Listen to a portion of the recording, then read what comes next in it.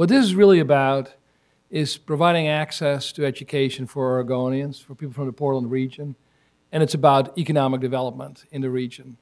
That's the purpose of Portland State, and the purpose of this education urban renewal area is to make it possible for Portland State to pursue that mission, that twin mission.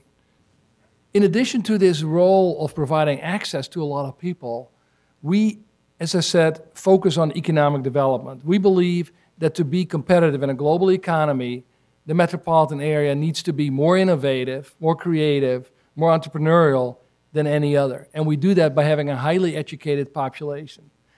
As the mayor said in his earlier remarks, uh, one way that Oregon has really addressed that recently is by importing educated people from elsewhere. I suppose I'm one example of that. Um, but we think that it should be Oregonians and people from the Portland region themselves that have the opportunity to get the education that allows them to be productive and it then allows the region to attract the kind of businesses that offer high quality jobs. The governor talked about just at lunch today at the meeting of the Oregon Community Foundation that we got to learn to invest at the front end rather than fix the problems at the tail end. When, when Mayor Adams first introduced the proposal for a new urban renewal area uh, two, almost two years ago, I was skeptical when I first saw the proposal. And I expressed that skepticism. And I just would like to acknowledge the extent to which Mayor Adams and PDC responded to that skepticism and changed the nature of the proposal. On the one hand, the proposal we have before you today is less than half the size of the original proposal.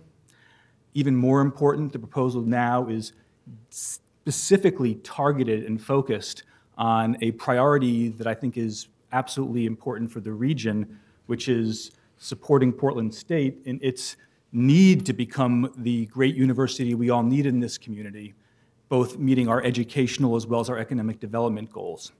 Every URA goes through a different public participation process. They all have their own unique course.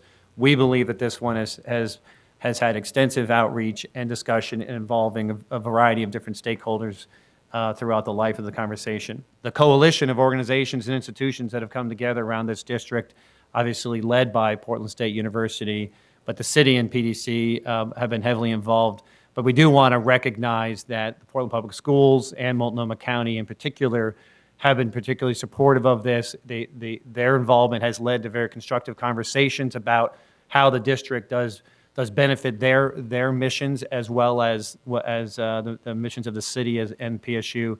And then as the mayor mentioned, uh, uh, this district does build on the great work that's happening at OHSU and all the investments that the city has already made and other public partners have made in South Waterfront. So we do view this as, as, a, as a district that will that will uh, have synergies with all the work that's happened on the OHSU campuses. The ultimate question is, are we prepared to make some critical investments, targeted investments in our community to, to grow family wage jobs, create prosperity so that down the road, the pie is bigger for everybody? And are we willing to make those tough decisions today for a better tomorrow? That's what it comes down to. I respect the arguments on all sides of this, but I have concluded that on balance, this district and the formation of this district is in the best interest of the city as a whole. And so today I proudly cast my vote. Aye.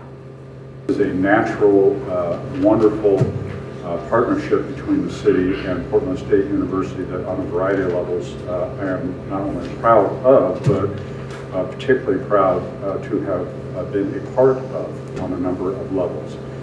And I predict with the fruition of this uh, urban renewal area will be even greater in the future. So I, I tip my hat to you, and I, I, wish I could do more than just vote yes, but, uh, but that's, uh, that's my role here today. I, I do applaud PSU and what is endeavor, what you are endeavoring to accomplish as a regional state university. I believe you are already well on your way, if not there, in delivering what we need in that regard. My responsibility is to all the taxpayers of Portland to fund basic services in all 95 neighborhoods. And so while I appreciate both President Wiewel and Chair Andrews and indeed Mayor Adams for leadership on this proposal, I must respectfully vote no. I appreciate the comments that, you know, we can wait for the state government to figure itself out. And in the meantime, Uh, As PSU goes, so goes the city of Portland. We will molder, we will skate.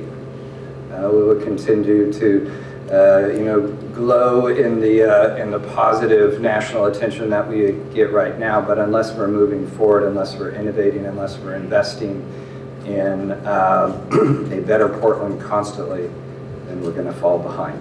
These investments put real, uh, real effort behind the platitudes of education is important. Well, if it's so important, you have to invest in it. And you have to make, as Commissioner Leonard said, sometimes some controversial decisions. This is an important day, not just for Portland State University, it's a very important day for the future health of the city. I is done. Yeah.